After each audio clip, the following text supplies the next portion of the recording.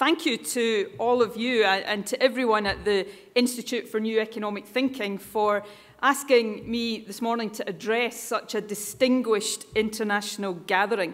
Um, I'm told that almost two-thirds of today's audience comes from beyond the UK, so it is a real pleasure for me to welcome all of you here to Scotland. And uh, even although, like Adair, I am a West Coaster, Uh, it's a particular pleasure to welcome you to our capital city, our beautiful capital city of Edinburgh. Now, I, of course, am biased. I think it's probably sensible to admit that up front this morning. But I think you have chosen the perfect location for this conference. I know that although this is an institute that exists to promote new economic thinking, you have a deep respect and regard for the economic pioneers of the past. As Adair has just said, your first annual conference was held in the Cambridge College where John Maynard Keynes wrote his general theory. Your second was at Bretton Woods, of course, the site of the conference that did so much to shape the post-war global economy. So it is really fitting that for this conference you have chosen the city which was the beating heart of the European Enlightenment, a city which has contributed hugely to the development of economic thought. It's not surprising that Adam Smith has already been mentioned several times this morning. Adam Smith, of course, was the founder of modern economic thinking. He lectured at Edinburgh in the 1750s, and then he lived and worked for the final years of his life at Panmure House, which is just a mile or so uh, away from here.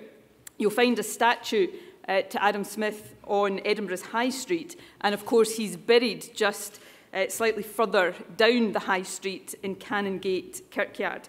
Uh, so I know you've got a very busy agenda here. In fact, it made me quite tired when I read that I am one of just 85 speakers that you're going to hear from over the next three days. But if you do find the time or if you just want to escape for half an hour or so, um, I hope you'll get the opportunity to explore this beautiful city and as part of that perhaps uh, get to see Adam Smith's statue or, or even visit his grave. Uh, I have to tell you that Canongate Kirkyard is well worth a visit for anybody who has any interest in the history of this city. You will find many a famous name there.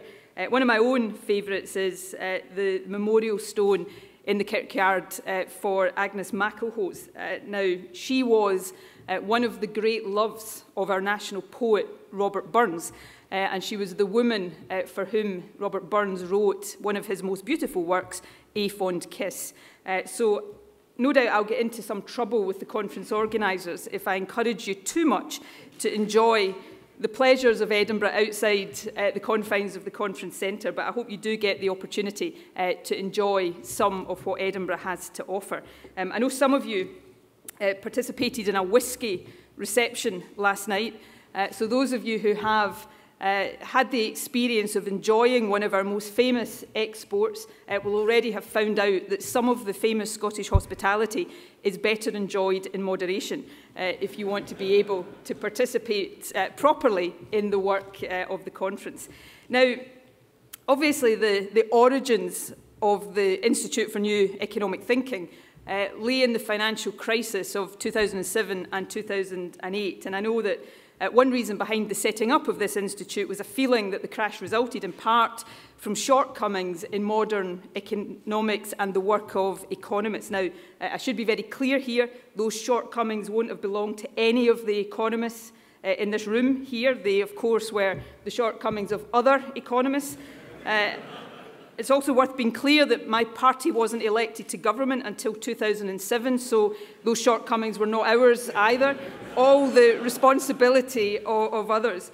Uh, but my main focus today isn't really on the work of those other economists or politicians. Instead, I, I want to reflect a little bit on the wider issue of how your work relates to wider policy making or how it should relate to wider policy making. I know that's a subject that Lord Turner has uh, also raised in the past. Uh, and I'll also try to give you something of an insight into the economic thinking and approach of the Scottish Government. But it is probably appropriate to start with a reflection about the financial crisis. Because looking back, one of, I think, one of the most striking things about that crisis is that it occurred at a time when there actually was overwhelming policy consensus on certain key issues. For example, the question of risk dispersal across the financial system. And therefore, the crisis, when it struck, seemed to take governments and the wider establishment by surprise. And yet, when you look a bit closer and scratch the surface, that should not have been the case, because the consensus at the time didn't necessarily reflect academic opinion. Some very distinguished economists held dissenting views, but their voices didn't seem to carry any weight as economic thought was translated into public policy. And of course, that's an easier problem to diagnose in hindsight than it was at the time. But it is something that should be very uh, high in the minds of any modern politician as we seek to avoid uh, repeating in the future the mistakes of the past. You know, one of the famous, or I think it could be more accurately described as infamous uh, quotes of the EU referendum here in the UK last year was from a prominent Leave campaigner, now a member of the UK government, when he said he thought that people had had enough of experts. Um, I think that's a, a quote that will haunt him for the rest, rest of his life. Uh, and of course, politics is about values and it's about judgments as much as it is about facts and figures. And I accept that and think that's as it should be. But I think the imperative for politicians today is not to think about how we listen less to the views of experts. I think the imperative and the challenge for modern politicians is how we open our thinking to a broader range of expert opinions, and in particular, those opinions that challenge our view of the world, not just opinions that reaffirm our view of the world.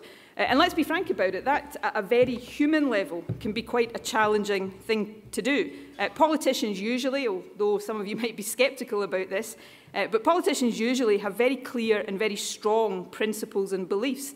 Uh, and I think that's a strength. But it can mean, and this is the downside, that we're more likely to be swayed by the evidence that easily fits with our worldview. And of course, if everybody seems signed up to the same worldview, it makes decision making much more straightforward, much more simple. But the risk is that what develops is a, a groupthink, and we blind ourselves to real risks and opinions that might alert us to those real risks. So it's never easy to reconcile diversity, disagreement, and complexity with prompt decision making and clear communication. But it is essential that we strive to do so because the financial crisis and the extent to which at large elements of policy making were out of kilter with reality in the run-up to 2007 it provides overwhelming evidence of the need to listen to opinions, as I said earlier, that challenge our view of the world, not just those that reinforce and reaffirm that view.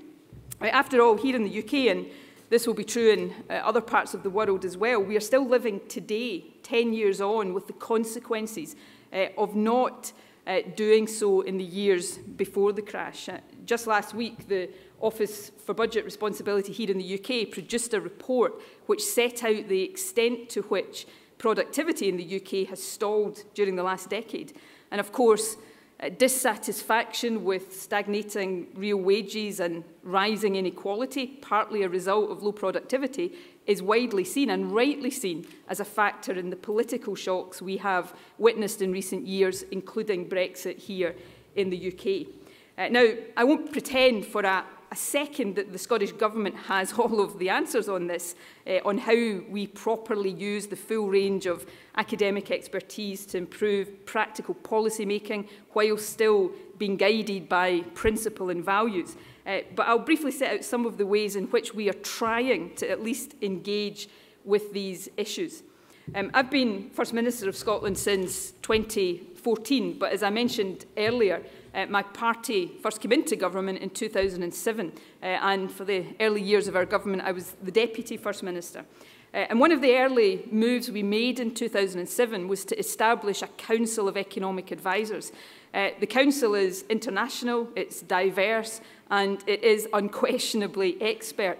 Uh, two of its current members, Professor Joseph Stiglitz and Professor Mariana uh, will participate in this conference, and Professor James Mirrlees is another member I know has participated in the past. And it's important, in our view, that we have that range of expert opinion and advice to draw on. Uh, in Scotland, we face the same challenges as other developed nations do. How we improve productivity, adapt to an ageing population, uh, make the transition to the low-carbon economy of the future and ensure skilled and well-paid job opportunities in an age of automation. Uh, and of course, more particular to Scotland and the UK, Brexit, especially if we end up outside of the European single market, will cause serious harm to businesses and the overall economy in Scotland. So it is essential as we navigate those challenges that we draw on the best international advice that we can. And the Council of Economic Advisers has a real and significant influence on government thinking. Uh, the most recent example of that is our announcement last month uh, that the Scottish Government will establish a national investment bank in Scotland. Uh, and that decision drew on advice from the Council, which highlighted the role that investment banks already play in other European economies and, and highlighted that by providing patient capital, the bank could influence areas which are highly relevant to our productivity performance, support for new and growing businesses, investment in science, research and innovation. Uh, and yesterday we published a consultation seeking views on how an investment bank can best fulfil that role. Uh, the Council has also in the past provided us with detailed advice on the economic and social impact of one of our other key policy objectives, which is uh, dramatically expanding early years education uh, and childcare provision, looking at that from an economic perspective, not just a social perspective. Uh, it's currently assessing some of the issues that would be uh, associated with the potential for having different top rates of income tax in Scotland uh, compared to the rest of the UK, an issue which is very important now because the Scottish Government has more extensive tax and social security powers. So the advice we get from the Council is very clearly independent, but it is hugely valuable as a source of outside expertise as we make some pretty fundamental decisions about the direction of the country. And I think the existence of that council shows that if it is at all possible Uh, the Scottish Government wants to be engaged with relevant and at times challenging expert economist opinion. Uh, and for very similar reasons, just yesterday over in uh, the west of Scotland, uh, the Scottish Government convened an international conference on inclusive economic growth. Uh, that included experts from the OECD, the IMF, from a range of countries, uh, as widespread as Costa Rica, New Zealand, Sweden, South Africa. Uh, as part of that conference, the, the Wellbeing Alliance met for the first time. And that's an alliance which is bringing together nations and regions. Scotland is playing a leading role in it, looking at how we use well-being and not just GDP as a measure of our economic performance. And this issue of inclusive growth is central to our economic thinking here in Scotland. Uh, when we published our new economic strategy uh, two years ago, uh, we included in that a major focus on addressing inequality uh, through a range of measures, tackling poverty, supporting skills, promoting gender equality. Uh, and at the time, Professor Stiglitz said that tackling inequality is the foremost challenge that many governments face, and Scotland's economic strategy leads the way in identifying these challenges and provides a strong vision for change. So we see that focus on inclusion as being an essential part of having an innovative, open economy. Uh, and firstly, and, and this is demonstrated by the political shocks I referred to earlier, we must build a fairer and a more inclusive society if we're going to sustain popular support for a dynamic, open and competitive economy. Uh, but in addition to that, we know now from a wealth of evidence that inequality actually undermines our efforts to increase productivity and to prosper through uh, innovation and internationalisation. Uh, eh, and we do have that wealth of evidence now. Uh, we know that inequality is not simply a price that has to be paid for economic growth. Uh, we know that it hampers and constrains economic growth. Uh, the OECD estimates that between 1990 and 2010, income inequality in the UK reduced economic output per head by 9 percentage points.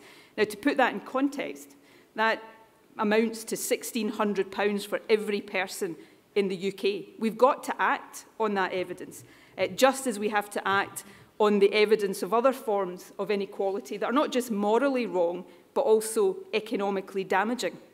An issue very close to my heart is, is gender inequality. Again, we know from the evidence, again, I'm citing OECD research here, that if women participated in the workforce at the same rate as men, uh, the output of uh, OECD countries over the next 20 years would be 12% higher. So this is hard evidence now that we must act on. And in Scotland, we've got a range of policies to try to boost innovation, increase our uh, international exports, uh, increase our productivity. But we know all of that will be weakened if inequality is too high. Uh, apart from anything else, we know that many people who could be the researchers, the engineers, the entrepreneurs of the future uh, will not get a fair chance if we allow income inequality, uh, gender inequality to prevail. We need to have an approach to building an economy that allows everyone to contribute their talent, their ideas and their energies. Eh, and inclusive growth, I guess, is linked to the final point uh, I want to make this morning. You know, when I was looking through your conference programme for the next uh, few days, uh, I was struck by just how relevant the issues you are discussing uh, are. Gender equality, the media, immigration, intergenerational issues, uh, and perhaps a bit more alarmingly, past democratic collapses. Uh, but it's clear from that agenda that this is a conference that is deeply engaged, as it has to be, with wider social issues. And that actually is another factor that links you to the legacy of Adam Smith. Uh, someone, I have to say, whose legacy is not always well served by some of his uh, ultra free market supporters. Uh, Adam Smith's economic science was rooted in a clear vision of society. He knew that although self-interest will motivate people, sympathy, empathy, concern for others is also a defining characteristic of being human. And as he famously argued in The Wealth of Nations, no society can be flourishing or happy of which the greater part of the members are poor and miserable. Uh, Adam Smith knew that ultimately the major choices we make in economic policy aren't just about what kind of economy we want to create, they are about what kind of society we want to live in. Ultimately, economic policy is a means to an end. It's the means by which we enable people, or don't enable people, to live happy, healthy, fulfilling lives. So in Scotland, we are trying to tackle these big economic issues in the right way as we build not just a stronger economy, but a better and a fairer society. Uh, but we know as we do that, we have a huge amount to learn from expert analysis and international perspectives.